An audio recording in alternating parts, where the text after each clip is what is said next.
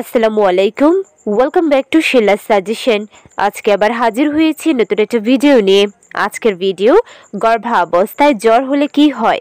জ্বর হওয়ার কারণ, লক্ষণ, জ্বরের প্রভাব গর্ভের বাচ্চার উপর কীভাবে পড়ে?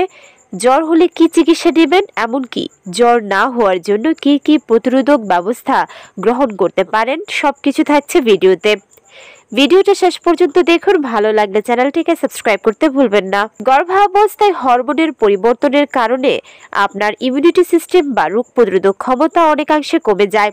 এর ফলে আপনি দুর্বল অনুভব করেন। তাই বিভিন্ন ধরনের রোগ জীবাণু আপনার উপর আক্রমণ করতে থাকে। তার মধ্যে অন্যতম হচ্ছে জ্বর কিংবা সর্দি লেগে থাকা। জ্বর হলে আপনার দেহের তাপমাত্রা বেড়ে যায়, আপনি দুর্বলতা অনুভব করেন, এমনকি বিভিন্ন শারীরিক সমস্যা দেখা দিতে পারে। প্রথমেই জানব গর্ভাবস্থায় জ্বর কেন হয়। জ্বর সাধারণত ভাইরাল একটা সংক্রমণ, অনেক সময় ব্যাকটেরিয়ার ফলেও হতে পারে। গর্ভাবস্থায় দেহের বাহিরের কিছু প্রবেশ করানো, বিশেষ করে ইঞ্জেকশন বা টিকা নিলেও জ্বর আসতে পারে।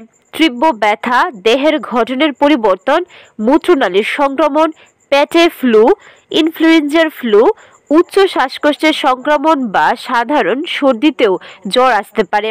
এমনকি খাদ্যে যদি বিষক্রিয়া হয়ে থাকে বা বদহজম হয়ে থাকে, সেক্ষেত্রেও গর্ভাবস্থায় জ্বর আসাটা স্বাভাবিক। এখন জানব তাপমাত্রা কত হলে বুঝবেন জ্বর হয়েছে। একজন গড় বয়স্কের দেহের তাপমাত্রা পঁচানব্বই থেকে সাতানব্বই ডিগ্রি ফারেনহাইট বা আটত্রিশ থেকে আটত্রিশ দশমিক পাঁচ ডিগ্রি সেলসিয়াসের মধ্যে থাকে। এই পরিসীমা ছাড়িয়ে যাওয়ার যে কোনো তাপমাত্রাকেই জ্বর হিসেবে বিবেচনা করা হয়। এখন জানব গর্ভাবস্থায় কোন লক্ষণ দেখলে বুঝবেন জ্বর হয়েছে। অবসাদ, বমি বমি ভাব, মাথা ব্যথা, জয়েন্টে জয়েন্টে ব্যথা, চোখে ঝাপসা দেখা, ঊর্ধ্বশ্বাস জিব্বায় তিক্ত স্বাদ অতিরিক্ত ঘাম হওয়া, এমনকি শরীর ঠান্ডা হয়ে যাওয়া। এখন জানব, গর্ভাবস্থায় জ্বর থেকে বাঁচার ঘরোয়া উপায় বা আপনার করণীয় কি? খোলা এবং শীতল জায়গায় থাকুন। পর্যাপ্ত বিশ্রাম নিন। ঘরের ভিতরেই থাকার চেষ্টা করুন। খোলামেলা এমনকি আরামদায়ক পোশাক পরুন। সিলিং ফ্যানের নিচে এমনকি এসি চালিয়ে রাখুন। আপনি যদি শীতে কাঁপতে থাকেন, তাহলে কম্বল বা কাঁথা ব্যবহার করতে পারেন। তাছাড়া এই সময় নিজেকে হাইড্রেট রাখতে চেষ্টা করুন। প্রচুর তরল কিংবা ফলের রস খেতে হবে। হাইড্রেট না রাখলে তাপমাত্রা কমানো একেবারে সম্ভব নয়, যার ফলে আপনার ইমিউনিটি সিস্টেম একেবারে দুর্বল হয়ে যাবে। গর্ভের বাচ্চার জন্য এটা মোটেও ভালো নয়। তাছাড়া ভেষজ চা সেবন করতে পারেন। এক কাপ উষ্ণ চা পান করলে গলা এবং বুককে প্রশান্ত করতে সহায়তা করবে, যা পরবর্তীতে সর্দি বা কাশি থেকেও আপনাকে দূরে রাখবে। জ্বর দূর করার জন্য লবণ পানিতে গরগল করাটা খুবই উপকারী। লবণ একটি অত্যন্ত শক্তিশালী অ্যান্টি ইনফ্লেমেটরি উপাদান, যা জ্বর বা ব্যাকটেরিয়া এমনকি ভাইরাল সংক্রমণের বিরুদ্ধে লড়াই করতে পারে।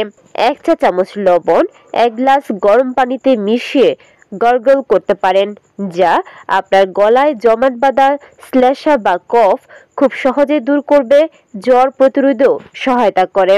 জ্বর হলে তা প্রতিরোধ করার সবচেয়ে আরামদায়ক এবং কার্যকরী উপায় হচ্ছে ম্যানথল ট্রিটমেন্ট। গরম পানিতে ম্যানথল যুক্ত করে আপনার মাথাটি তোয়ালা দিয়ে ঢেকে রাখুন। এরপরে বাষ্প নেওয়ার চেষ্টা করুন আপনার নাকের গহ্বর পর্যন্ত। আপনার নাকের ছিদ্রগুলো খোলা, জ্বর কমানো, এমনকি সর্দি কমাতে এই ম্যান্থল খুবই কার্যকর।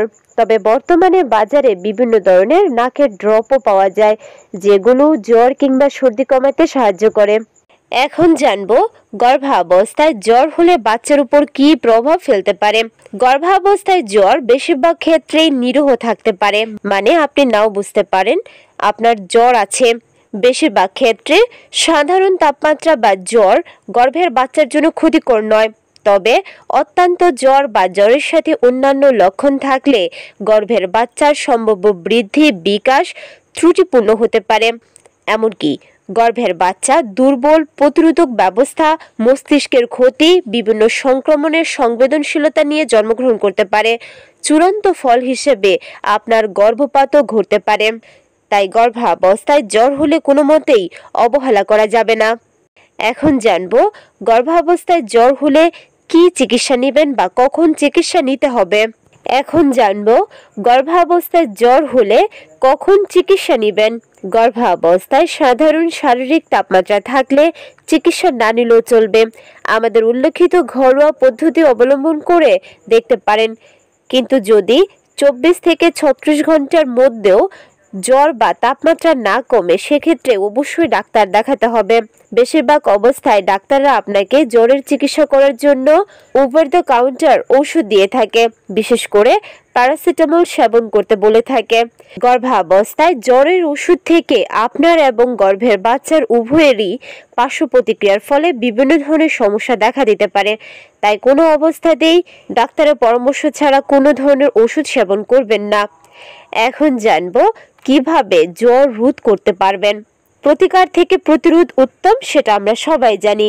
গর্ভাবস্থায় জ্বর বা জ্বরের মতো সর্দি বা অন্য কোনো সমস্যা খুব সহজে এড়ানো সম্ভব। তার জন্য প্রয়োজনীয় পরিমাণের ভিটামিন সি গ্রহণ করতে হবে মানে লেবু বা কমলা লেবু জাতীয় ফল বেশি করে খেতে হবে।